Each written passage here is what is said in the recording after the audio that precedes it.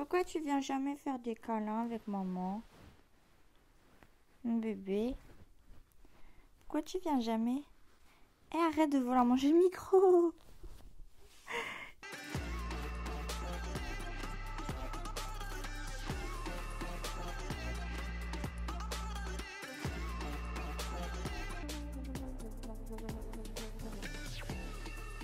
Yo les ours, j'espère que vous allez bien. On se retrouve dans une vidéo très particulière aujourd'hui. C'est une vidéo coup de gueule. Euh, J'ai pas l'habitude de faire ça, c'est vraiment la première fois que je fais ça sur ma chaîne, on va dire un coup de gueule contre une marque. Pour les personnes qui me suivent sur Instagram, vous avez vu à un moment en fait que j'ai tout simplement parlé euh, d'une marque qui me proposait d'essayer une culotte de règles. Et donc je vais vous donner mon retour aujourd'hui. On va en parler sincèrement parce qu'ils m'ont vraiment pris pour une conne. Donc pour commencer, en fait j'ai reçu tout simplement une proposition d'une marque de culotte de règles. Voilà, le concept m'intéressait, le mail était assez clair, la proposition l'était aussi, c'était en gros euh, nous sommes une marque euh, française, nous sommes spécialisés dans euh, la culotte de règles. Donc c'est vrai que ça m'a intrigué sur le moment parce que je me suis dit bon bah what the fuck qu'est-ce que c'est que ce truc? Donc j'ai cliqué. bon voilà le blabla habituel, nous adorons ton profil, blablabla blablabla. Il faut savoir que c'est extrêmement rare quand les marques te disent ça que c'est la vérité. En général elles ont envoyé ce mail à 20 millions de gens avant mais bon c'est pas grave. Donc je continue à lire leur mail, ils m'envoient le lien de leur site internet. Donc je clique dessus, moi j'en avais jamais entendu parler auparavant. Je regarde un petit peu les modèles, je vois qu'il y a des avis, ça a l'air quand même assez euh, clair. Je me dis ok, bon bah vas-y, je continue le descriptif de leur email et là en fait ce qu'ils font, c'est que euh, il m'envoie le lien d'une fille, euh, d'une youtubeuse qui s'appelle Et pourquoi pas Colline. Et du coup, il m'envoie le lien de sa vidéo et ils me disent Bah regardez, elle a parlé de, notre produit dans sa vidéo. Donc je vais voir la vidéo. Euh, je connaissais pas cette fille, j'ai adoré sa vidéo, j'ai adoré sa manière de parler, j'ai adoré le concept de la culotte de règles en fait tout simplement. Et je me suis dit bah écoute c'est une super idée. Ça m'intéresse. Donc moi ça me permet de tester des trucs pour mes abonnés de satisfaire un petit peu tout le monde. Je teste différents produits qui restent quand même euh, assez clean en général. Et donc du coup là je me dis mais c'est vraiment super comme truc. Je, je kiffe. Genre c'est bon euh, je veux le faire. Donc là, on parle forcément rémunération, etc. La rémunération n'était pas très importante, mais ça, à la limite, je m'en fiche un peu. Donc en fait, au niveau de la tarification, ce qu'on avait programmé de base, c'était d'en parler une fois le retour final fait. Parce que euh, moi, ils voulaient m'envoyer le produit au début. J'ai dit, écoutez, euh, non, j'en parle à la fin. Je vais le tester parce que là, ça a l'air génial votre truc, mais je ne sais pas si ça marche. Et je ne veux pas parler d'un produit en disant qu'il est génial alors que je ne l'ai pas testé.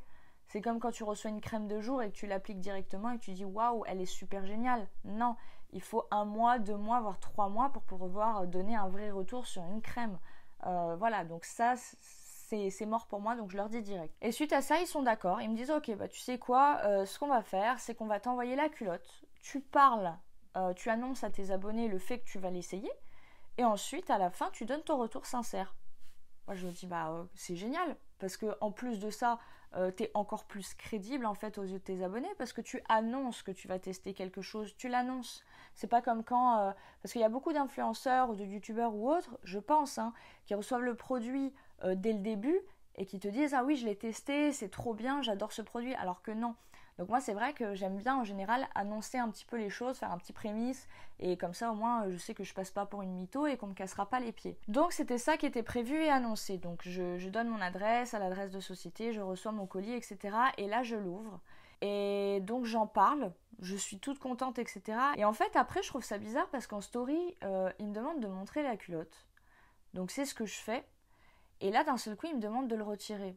Et ils me disent oui, euh, s'il te plaît, retire le, moment où tu montres la culotte. Euh, il y a moins de clics sur le lien. Je me dis ok, c'est bizarre. Euh, surtout que le lien qu'ils m'ont donné, c'est pas un lien de tracking, c'est un lien euh, normal, genre le lien du site basique. Donc je me dis c'est étrange qu'ils me disent qu'il y a moins de clics, sachant qu'ils ne peuvent pas l'analyser en fait. Donc à partir de ce moment-là, je commence à douter. Je me dis ouais, il y a un truc chelou. Euh. Il doit y avoir un truc bizarre avec la culotte ou je sais pas quoi.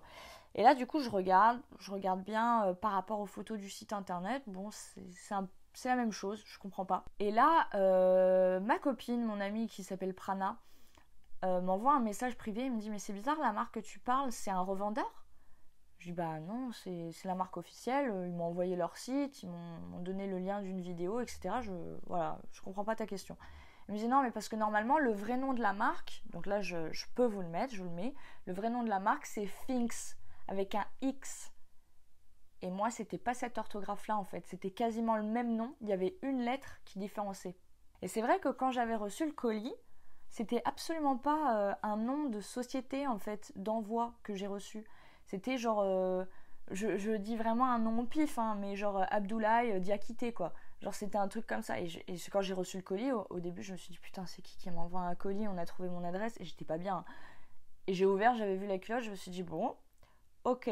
Donc on continue, c'est vraiment chelou. Et là ma pote elle me dit bah écoute moi je pense que c'est un revendeur parce qu'ils ont utilisé, attention, accroche-toi, accrochez-vous les mêmes photos que sur le site officiel. En gros, ils ont volé les visuels de la marque qui de base fait ça.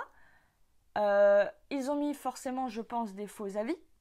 Parce que, le site, il existe depuis moins de un mois. Et en plus de ça, ils te mettent sur le site internet, en fait, les mêmes descriptifs que sur le site officiel. Donc, normalement, il y a euh, quatre couches de différentes épaisseurs à l'intérieur de la culotte. Une couche en bambou, une couche en fibre de je sais plus quoi, une couche en, en métal de... Enfin bref, je m'en rappelle plus, mais il y a quatre couches différentes, bien distinctes, qui font en fait que le produit est efficace, que quand tu portes la culotte, le, sang ne passe pas, est absorbé et ne sent pas mauvais. Et voilà, en gros que tout est super cool, super confortable. Et là, je clique sur le site officiel, je regarde, je vois les mêmes visuels, sauf que les culottes présentées étaient magnifiques. Il y avait des bodys, il y avait des ensembles, il y avait des trucs super beaux qu'il n'y avait pas du tout sur le site qu'on m'a proposé en fait, qu'on m'a qu'on m'a montré. Et je vois en fait rien qu'à travers les photos que la qualité n'est pas du tout, pas du tout, pas du tout pareil. Parce que moi la culotte que j'ai reçue, c'est genre elle est pas élastique du tout. On dirait une couche, elle est super épaisse. Et en fait quand tu la touches, t'as l'impression qu'il y a y a une feuille de latex en fait à l'intérieur de la culotte et c'est tout. Et donc du coup là je demande à ma pote, je lui dis écoute, est-ce que sur la culotte il y a marqué euh, la marque? Est-ce qu'il y a une étiquette? Elle me dit bah oui, il y a marqué la marque, donc il y a marqué Finks avec un X. Euh, et il y a marqué, effectivement, elle me prend en photo et elle me montre euh, les différentes matières avec le Made in euh, tel pays, etc. Tout était très clair indiqué. Et là, je regarde ma culotte, pas d'étiquette, enfin, pas de marque collée en fait sur les fesses. Pas, enfin, pas du tout la même étiquette, genre il y avait marqué Made in China, polyester, alors coton, polyester, latex. Et là, je me dis, ok, donc en fait, là, ils essayent de me pigeonner, les petits bâtards. je suis désolée du terme, mais franchement, c'est ce qui s'est passé dans ma tête et je me suis dit, mais c'est abusé, comment on peut, comment on peut mentir? Et en plus, surtout que sur leur site internet, ils disent Made in France. Et là, il y a marqué Made in China. Mais les gars, quand vous envoyez une culotte, au moins à vos clients, coupez l'étiquette dans ce cas-là si vous voulez mentir, parce qu'il y a marqué Made in China sur la culotte. Et j'étais dégoûtée parce que j'en avais déjà parlé en story. La story, elle était passée depuis deux jours, et là, je me dis, putain, qu'est-ce que je fais? J'en parle maintenant, j'attends.